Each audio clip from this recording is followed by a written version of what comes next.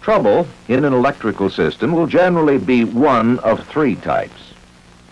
Short circuits, grounded circuits, or open circuits.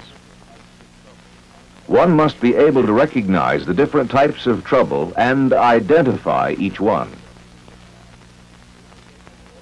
An electric circuit is a path or a group of interconnected paths capable of carrying electric currents. An electric circuit exists when the source of power is attached through a pair of conductors to an electrical device, such as a lamp.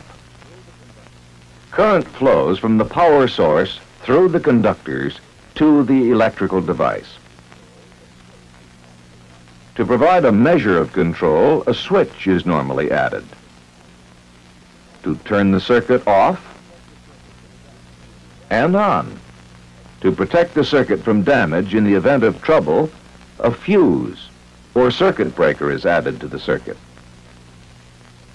Let's take this basic circuit, enclose it properly in protective boxes and conduit, and use it to demonstrate the three most common types of circuit trouble. First, we'll examine a short circuit. A short circuit results when two bare conductors are permitted to come into contact with each other. The current no longer flows through the entire circuit. It is shunted directly from the hot conductor to the neutral conductor. When this occurs, there is only a very small amount of resistance in the circuit. According to Ohm's law, for a constant voltage, when the resistance is lowered, the flow of current goes up. This increase in current can cause heating of the wires and is the cause of many electrical fires. However, since the circuit is properly protected, the fuse or circuit breaker reacts to the excessive current and blows or trips, stopping the current flow. To correct the short, the damaged wires must be separated and, in most cases, replaced. Then, replacing the fuse or resetting the circuit breaker restores the circuit to normal operation. Now let's examine a grounded circuit. In any electrical installation, it is standard safety practice to connect the neutral conductor to the metallic structure of the power panel. In this way, the protective covering over the entire circuit, the conduit system, has the same potential as the neutral conductor. A grounded circuit results when the hot conductor is permitted to come into contact with some metallic part of the wiring system. Since the metallic parts of the wiring system are at ground potential, the current flow is shunted through the metallic structure to ground. Since the resistance of the circuit is lowered to an extremely low value, the current flow is increased until the protective device in the power panel reacts to stop the current flow. To correct this condition, it is necessary to locate the undesired grounding of the hot conductor and remove it. Then when the protective device is reset or replaced, the circuit is restored to service. An open circuit results when one or more conductors in a circuit become broken, burned, or otherwise separated to interrupt their continuity. An open circuit prevents any flow of current in the circuit. In this example, the neutral conductor has been broken to stop the current flow. If the hot conductor was broken instead, the effect on the circuit would be the same. If any part of this circuit fails, it breaks the continuity and stops the flow of current. Replacing the defective circuit component or repairing the broken wire restores the circuit to normal operation. The fuse or circuit breaker normally does not react to an open circuit. In the field, electric circuits are generally installed in a manner that rules out a visual inspection of the wiring itself. However, to be able to correct any trouble, the electrician must be able to identify the type of malfunction that exists in the line. The correct tools and equipment will make this identification easier. The tools normally used for troubleshooting are a voltage tester and a multimeter or buzzer type continuity tester. We will demonstrate the use of these tools to troubleshoot this familiar basic circuit. The protective device has been set off indicating that the fault is probably a short circuit or a grounded circuit. To check the wiring safely, disconnect the conductors from the power panel. For the hot conductor, this is normally done by removing the fuse or opening the circuit breaker. However, if more than one circuit is controlled by the fuse or breaker, the conductors must be physically removed from the power connection and separated. Since a short or ground is suspected, remove the other elements of the circuit by opening the switch and removing the bulb. To check for the suspected condition, use either the buzzer type continuity checker or the ohm meter portion of the multimeter. When the meter is applied to one of the conductors and the metallic cover of the fuse box, it gives a high resistance reading, which means there is no continuity. Next, the meter is applied to the other conductor and the ground point. As it indicates no continuity, neither conductor is grounded, eliminating this as the source of trouble.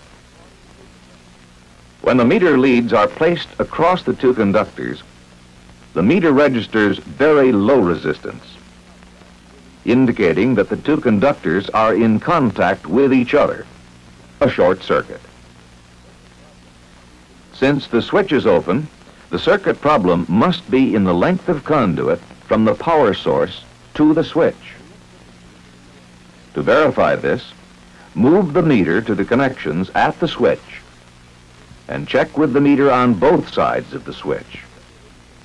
On this side of the switch, the circuit indicates high resistance or no continuity. But on this side, the meter indicates the short. So the trouble has been identified and located. The short circuit is removed, and the circuit is checked once again with the ohm meter. This time, the circuit checks out properly. So it is now safe to replace the fuse, and the circuit is placed back in service. This time, let's examine another case where we come on the trouble site to find a blown fuse. Once again, to deal with the circuit safely, remove the wires from the power source. Remove the other elements in the circuit by opening the switch and removing the bulb. This time, instead of using a multimeter, let's use a buzzer-type continuity tester. This tester is simply a small door buzzer and a dry cell battery. When the two test leads are brought together, the current activates the buzzer and it makes a sound. Thus, when the leads are placed on a circuit under test, no sound means no continuity, while this sound means continuity. First, checking between the two conductors indicates that there is no short circuit in the first section of the circuit. And there is no continuity between the hot conductor and ground in this section. However, between the hot conductor and ground in the second section, there is continuity. Since this is the last section, the testing is complete. In a longer circuit, the diagnosis would be confirmed by checking the next connection. The ground is removed, and the circuit is retested at the trouble point, and all connections are restored. The light and fuse are replaced, and when the switch is turned on, the circuit is back in service. Perhaps the most common trouble in wiring circuits is an open circuit. In lighting circuits, the most common fault is a burned out bulb. But sometimes the trouble may be caused by a loose or broken wire, requiring troubleshooting to locate it. Since the fuse did not blow, we suspect that the problem is an open circuit. Inspection or replacement of the light bulb reveals that it is good. The voltage tester will be valuable for this test. Checking at the source, there is voltage at the fuse box. Moving to the switch box, voltage is still present. Checking at the far side of the switch reveals voltage. So the switch is good. The final checkpoint is at the fixture box. At this point, there is no voltage. The trouble has been traced to this section of conduit. However, continuing a step farther can determine which conductor is defective. A check between the hot conductor and ground indicates 110 volts, which proves that the hot conductor is continuous. So the open circuit must be in the neutral conductor. Replacing the defective section of neutral conductor restores the service. For simplicity, we've been working with a very basic circuit. In practice, circuits usually involve several junction boxes and one or more branch circuits, all fed by the same fuse or circuit breaker. However, the procedure for troubleshooting such circuits is the same. Beginning at the power source, isolate one section of the circuit at a time until the trouble is located. Trouble in electric circuits can be classified into three general types. Short circuits,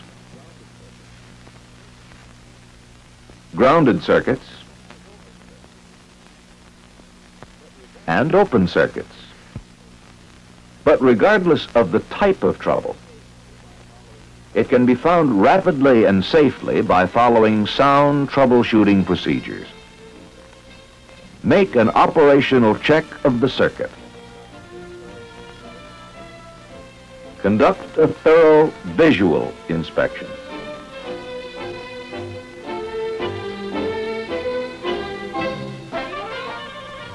Study the schematic diagram if it is available. Analyze the information that has been obtained. Locate the actual position of the trouble.